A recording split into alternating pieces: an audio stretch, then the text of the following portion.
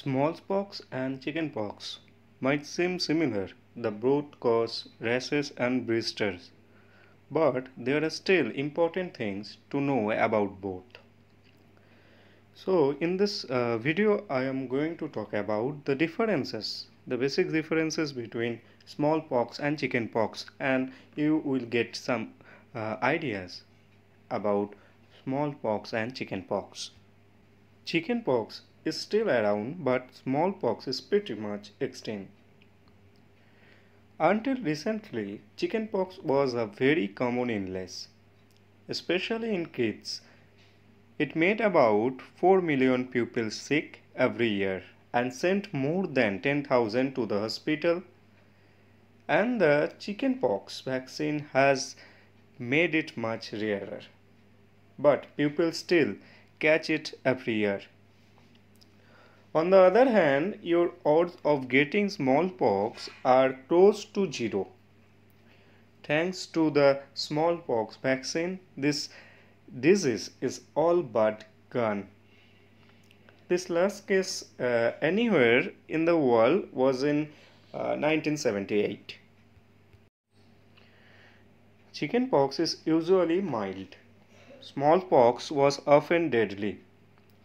The varicella virus is a herpes virus uh, causes chickenpox. It's very easy to catch. If you have chickenpox, you will get itchy blisters on the body along with other symptoms like fevers and tiredness. And it usually lasts about 5 to approx 5 to 7 days. Smallpox was very different. It was also caused by virus variola. It caused a rash, blisters and fever, just like chickenpox. But it was much more serious. About 3 out of 10 people who got it died. Some who survived end up blind or with permanent scares.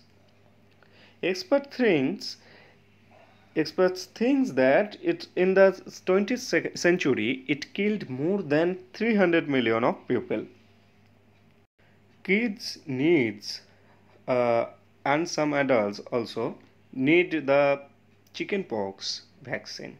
Almost no one needs the smallpox vaccine because while chickenpox is a mild disease for most, it can sometimes cause dangerous problem, especially in babies, adults and people with weak immunity system. That's why doctors recommended that all kids get the vaccine.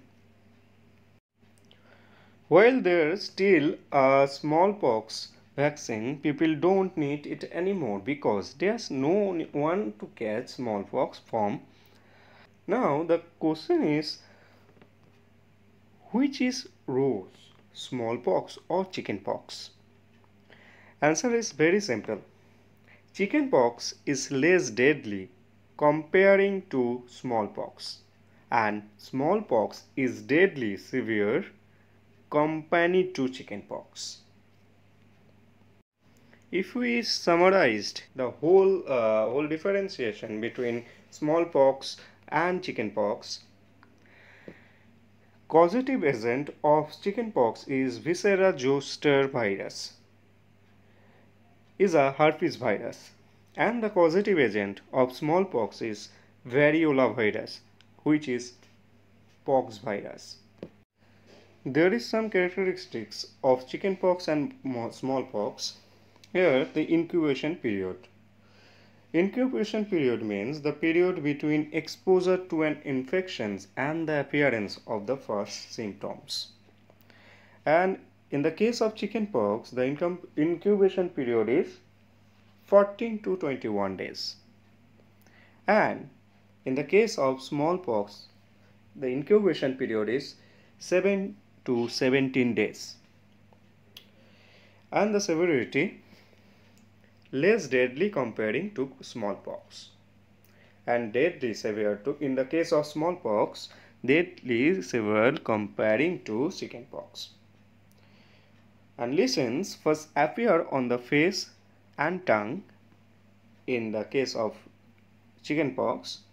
And for the smallpox first appear in the throat or mouth then on the face on the or on the hand now what is the initial symptoms of both cases of poxes? Like chicken and smallpox. For the chickenpox 0 to 2 days of mild illness pass before the rest develop. And for the smallpox, 2 to 3 days of severe illness pass before the rest develop. And from the picture, we can uh, say that uh, we can say uh, we can discuss about some uh, characteristics of rash lesions. For the chickenpox, lesion changes rapidly, crusting over within 24 hours. Lesions sit on the skin surface and look like small blister. Lesions are more concentrated on the torso and fewest on the hand and feet. If you see the picture, you can relate. And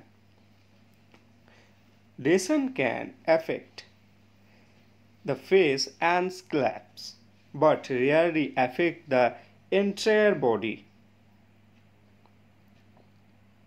equally. And for the smallpox, the characteristics of rash lesions are as follows. Lesions become from dome shape you can see here these lesions become firm dome shape and deep in skin. Rash commonly develop on palms of the hands and soles of the feet. Lesions are most concentrated on the face, hand and feet.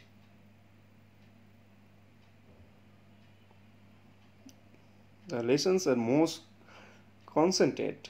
You can see here on the face, on the hand and on the feet for smallpox.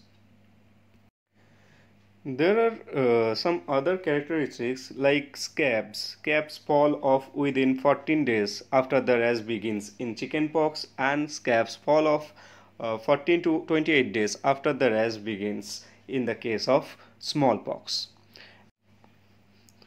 And Mm, the characteristics of pox are more superficial in the chicken pox and pox are very deep in the dermis for smallpox. Vesicle collapse on puncture in chickenpox. Vesicle do not collapse on puncture in smallpox. And fever occurs each crop of vesicles and in the case of chickenpox and fever subsides with development of rashes in the case of smallpox. And the point of prevalence. Chickenpox is still prevailing. And smallpox has been eradicated, eradicated from the earth. Hope this video will help you to understand the overview of the differentiate between the smallpox and the chickenpox for class 12 health and hygiene chapter and for uh, your uh, examination of NEET. It will help you to answer so many questions, so many uh, short question also if you like this video please share with your friends and don't forget to press the bell icon to get more updates from our channel and please subscribe our channel. Thank you